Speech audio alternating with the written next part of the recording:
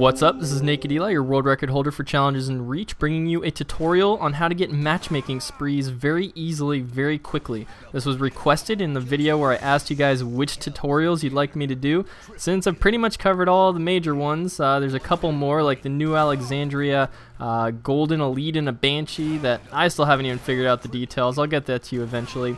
But the reason Living Dead is so good for sprees, you see right there, every time you get 5 kills with a shotgun, you get a shotgun spree, a zombie killing spree, spree and a killing spree. Three sprees per five kills. Very easy. I think in this one clip I get like seven sprees. So it's all you got to do is play this playlist and it's really that knowledge that's going to get you your sprees fast. And this is just a fun clip. I tried assassinating this guy, he just turns around and beats me. What?